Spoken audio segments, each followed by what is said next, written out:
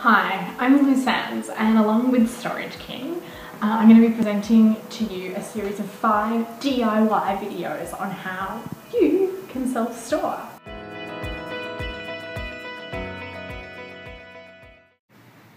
Tip number four when it comes to DIY self-storage. Oh, it can take an awful lot out of you. Days, days, days packing everything up, putting it away. It's important to take some time out to have a little bit of fun. See, look at me. I found a cape.